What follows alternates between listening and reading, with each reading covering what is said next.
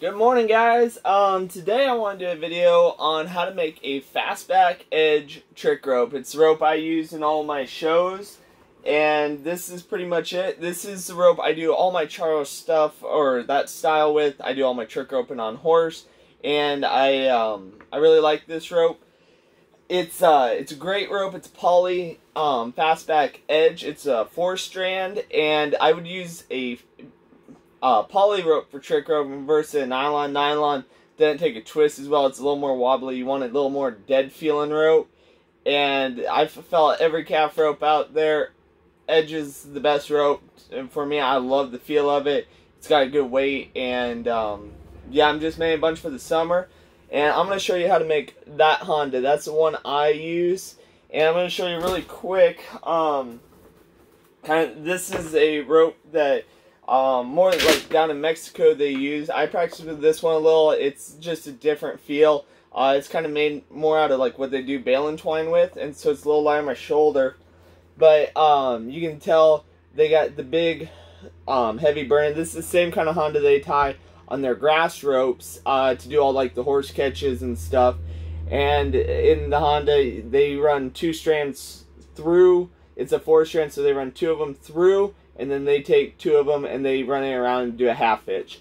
Um, that way you can rope like rope something. This rope is really not made to catch anything. It's just for doing the tricks. Um, I did want to show this. This is another uh, poly rope, but this one a kind of cool uh, short story.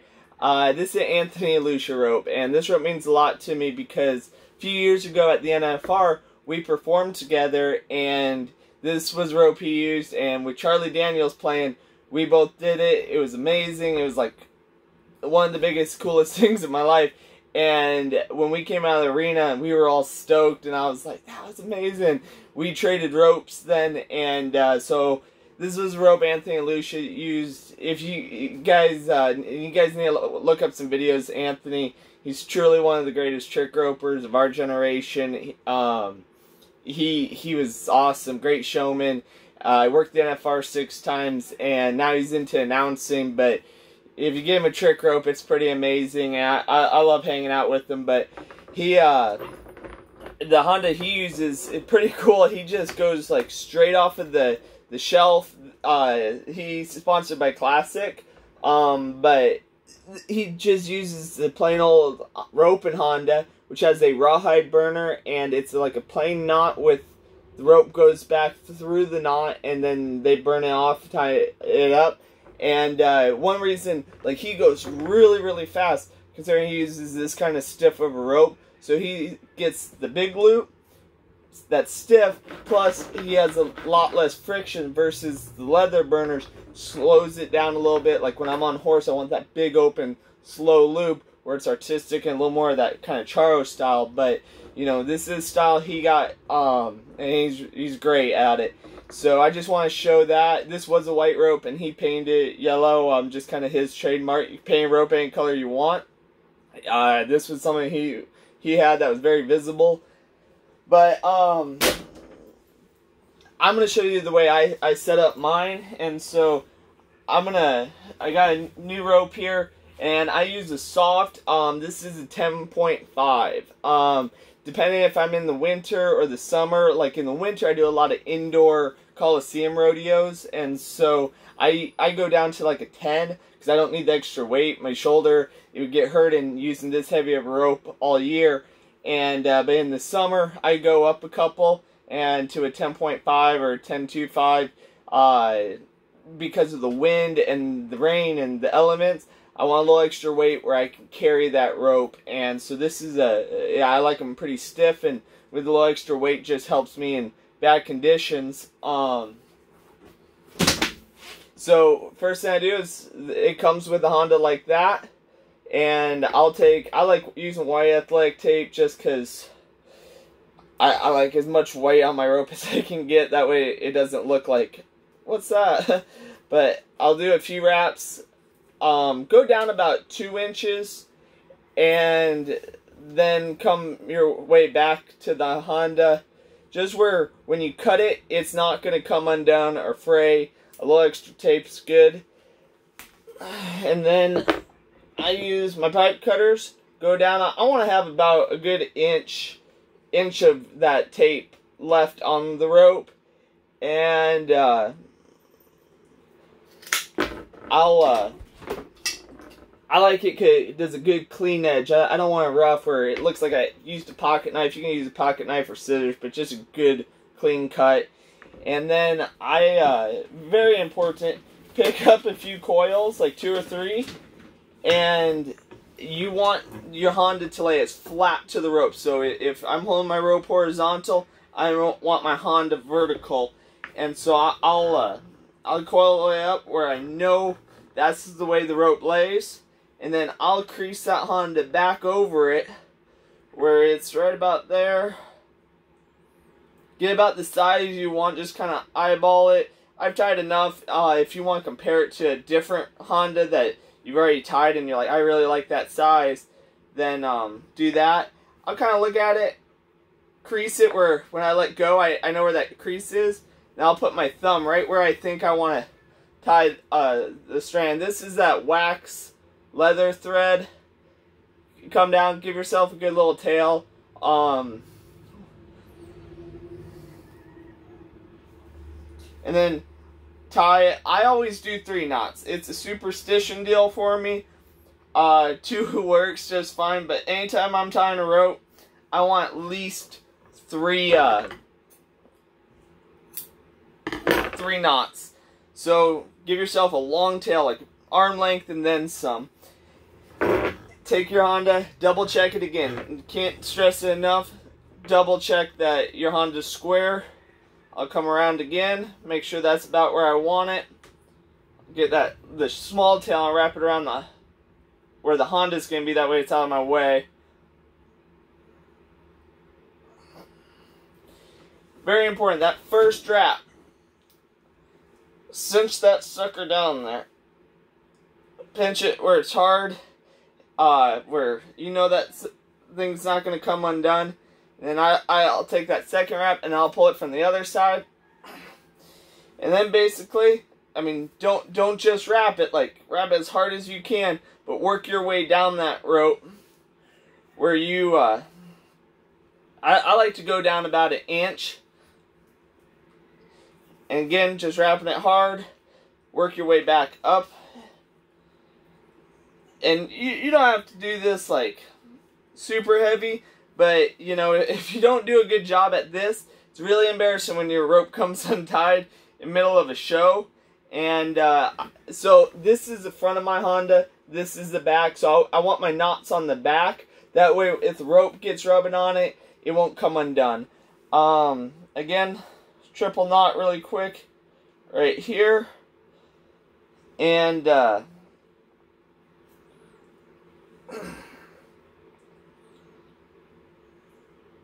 make sure it's a like a box knot, not a thief knot. Uh, do that, and then I like to take it and not just one time through, but I'll come around the back, put it through the rope, pull that all the way down to the base of the Honda. Then I'll do the same thing on the other side, where it wraps around each individual side, come around the back, I'll cross them again, and then tie on the back.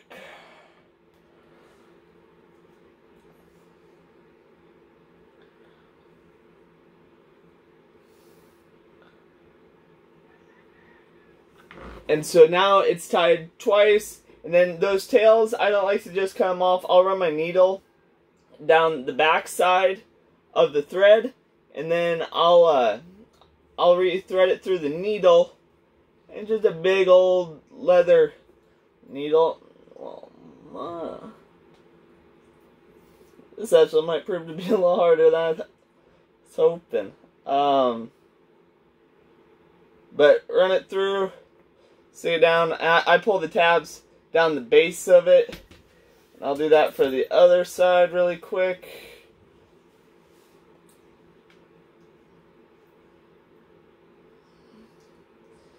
But, um, this isn't necessary. I just like a certain way I do it where it's tidied up. Cut it where you got just a little hanging, and then I'll take a lighter and then kind of burn it where it's nice and tight. Um, again, before I go any farther, I, I'll double check, make sure that lays good. Um, you can kind of play with it a little, but I, I, I want a true Honda. I, I don't want to have to be like, oh, and bend it. If it's a little off, I'll play with it a little, maybe put it in the bag a little to the opposite where it rolls back.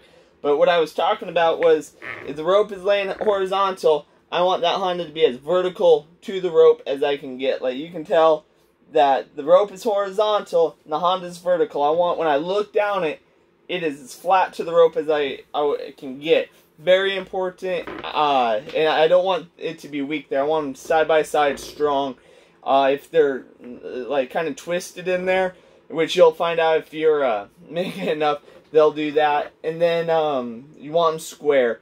This is the leather I use. It is three and three quarters length, pretty much long, and one and three quarters length wide.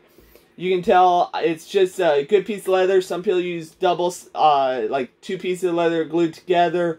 Um, I use one, and I don't like it that rough. Some people get where it's really rough, and the rougher it is, the more grab I'll have.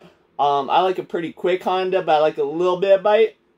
So, and then you poke two holes in each corner going down the rope, and then right, this might be a little hard to see, but there is a uh, a little cut right there and so you cut it in the middle on both sides. Some people do two or three cuts. I just like one in the middle. That way when it goes around the rope, it it, it, opens up there and it's not just, it pulls itself down. I'll get some of this wax leather thread and um, just cut off like a good sized chunk of that. You don't want to go on the short side because it's hard to tie knots. Run it through needle, and this is like a leather needle. It's a big open one. Run it from the rough side to the smooth side. Take your Honda, put in. Again, I got the smooth side to the rope, the rough side to the middle of it. I'll go through, go over the rope, under the rope, where it makes a loop, and then back out the opposite side hole. So it's right about there. And then I'll take the other end. And uh, I, I then go through the top holes, or I go through the the top hole. I go under the rope, or over, under, around, and then back through the other side. And uh, kind of pull those down where they're out of the way. And so what I'm going to do now is I want those strands to be as close to each other as they can. Get that Honda right where I, I want it to sit square. And pull those really tight where they're snug. Um, I always tie the top side first. And so you're going to drop the bottom two strands. Pull those down tight. So it's wrapping around that there. Separate and then I like this wax thread because it'll hold it just a little bit more than just like a plain thread. But again, get it tight. then, like I always do, a triple knot. One, two, three. So the top one's done. Now I'm going to get those out of the way. I'm going to try to keep this up here. And then uh, I'm going to do the bottom ones. Again, you want these tight. One, two, three. Um, and then what I always do with the tails of them, just make sure that they don't come undone. I'll tie them together. Uh, like I'll tie the top one and the bottom one from opposite sides together, and then top and bottom from opposite sides together. And that way it won't come undone. It won't get frayed, old and uh, and fall apart on me in the middle of a show.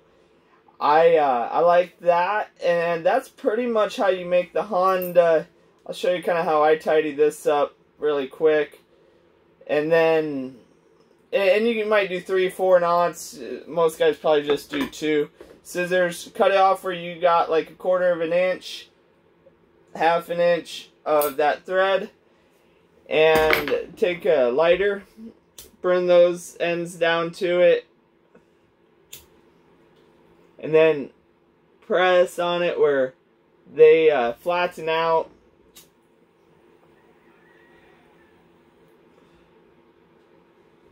And that's pretty much how you do it right there. Um, it might be a little bulky. That's why some guys might do a smaller one, but I know that's not coming undone. And I made uh, this rope. And so uh, this one, I just need to do the other side. And I'll do that in a second. But that's pretty much how you want it. I, I just duplicate that on the opposite side. And I want to make sure that that's tied up there. Um, that's a good Honda for, it and like that's with the leather, I got a good three fingers pretty loose in there. Um, when you before you put the leather in there, you want about three or four fingers, and that way you got a bigger open one. So again, I like to open it up a little bit. That way it's a big kind of open Honda, but with that leather burner, it slows it down, kind of adds that charro effect where it pockets your rope a little bit more. But yeah, that's how I do it, and I, I always tie like a uh, a rose knot at the end. You don't need to, but just kind of a pretty knot for me. And that's how I make it. Fast back edge. It's a great rope, and uh, you can learn a lot of tricks with it. So I hope you guys enjoyed this this morning. God bless, and enjoy roping. See you guys.